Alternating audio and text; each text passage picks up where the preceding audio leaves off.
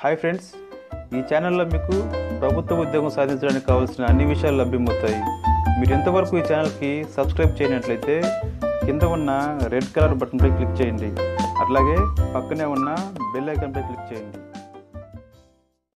Hi అండి employees state insurance corporation సంబంధించి కొన్ని ఉద్యోగాలు విడుదల చేయడం జరిగింది విజయవాడ రీజియన్లో. ఒకసారి నోటిఫికేషన్ వివరాలు చూద్దాం మనం. సో మొత్తం మీద ఇక్కడ రెండు కేటగిరీలు స్టెనోగ్రాఫర్ అట్లాగే అప్పర్ డివిజన్ క్లర్క్ యూడీసీని ఉన్నాయి. స్టెనోగ్రాఫర్లో రెండు పోస్టులు ఉన్నాయి. అవి యువర్లో రెండు ఉన్నాయి మొత్తం కూడా. సో అట్లాగే అప్పర్ డివిజన్స్లోకి చూసుకుంటే పదకొండు పోస్టులు ఉన్నాయి. యువర్లో ఐదు ఎస్సీకి మూడు ఎస్టీకి ఒకటి ఓబీసీకి జీరో ఈడబ్ల్యూసీకి రెండు ఈ విధంగా ఉన్నాయి.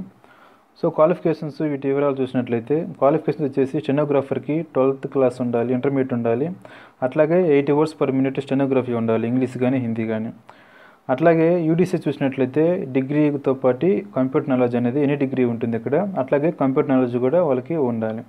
సో ఏజ్ చూసినట్లయితే eighteen to twenty seven years మధ్య ఏజ్ ఉండాలి. పదిహేను నాలుగు రెండు వేల పంతొమ్మిది టయానికి రిలాక్సేషన్ కూడా ఉంటుంది. ఎస్సీ ఎస్టీకి ఐదు ఓబీసీకి మూడు పిహెచ్ క్యాండిడేట్స్కి ఎక్స్ సర్వీస్మెన్స్ కూడా అందరికి రిలాక్సేషన్ ఉంటుంది. సో హౌ టు అప్లై అంటే పదిహేను నాలుగు రెండు వేల పంతొమ్మిది లోపల అప్లికేషన్ అప్లై చేసుకోవాల్సి ఉంటుంది ఆన్లైన్లో. సో ఫీ uh, ఇది సైట్ ఇచ్చినారు ఎక్కడ అప్లై చేసుకోవాలండి? WWW dot EC ESIC dot NIC dot ఇన్లో మనం ప్రతిదీ అప్లై చేసుకోవాల్సి ఉంటుంది. ఫీజు చూసినట్లయితే SC ST PWD departmental candidates female candidates అలాగే ఎక్సర్వీస్ మ్యాన్స్కి రెండు వందల యాభై రూపాయలు మిగతా వాళ్ళందరికీ ఐదు వందల రూపాయలు అనేది ఫీజు ఉంటుంది. So mode of payment of fee కూడా ఆన్లైన్లో పే చేయాల్సి ఉంటుంది ఆన్లైన్ ఎగ్జామ్ కాబట్టి. సో అట్లాగే ఇక్కడ స్కీమ్ ఆఫ్ ఎగ్జామినేషన్ చూసినట్లయితే స్టెనోగ్రాఫర్కి మొత్తం రెండు పేసుల్లో ఉంటుంది. పేస్ వన్లో డైరెక్ట్గా మెయిన్ ఎగ్జామ్ ఉంటుంది.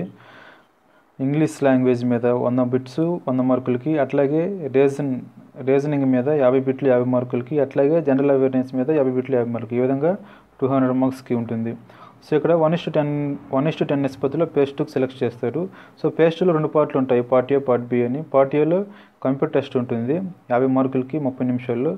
ఇక్కడ ఆ కంప్యూటర్ టెస్ట్ కూడా పవర్ పాయింట్లో రెండు స్లైడ్ క్లియర్ చేయగలిగి పది నిమిషాల్లో.